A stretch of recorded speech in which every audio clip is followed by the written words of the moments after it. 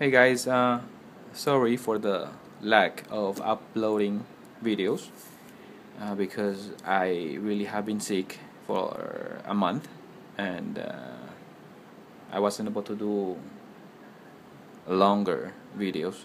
So, um, but I think I'm okay now. Thank you, some of you, for the good wishes, and uh, I'll probably be back doing more videos uh, this week. This is just a short video that um, just a, a quick peek, and I got this package from uh, Neptune Knives, and uh, David has been a really good friend, and uh, I think he's starting to make uh, knives. And uh, this is just one of his project knife. And I think it has been very very well done especially for a uh, uh, EDC carry and uh, for a lighter EDC use.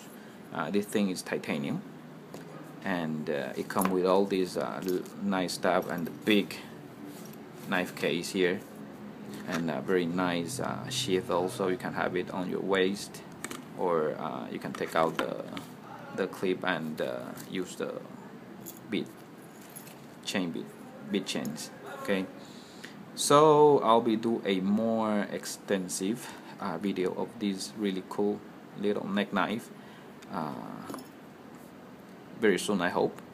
And uh, I'll keep you guys uh, posted.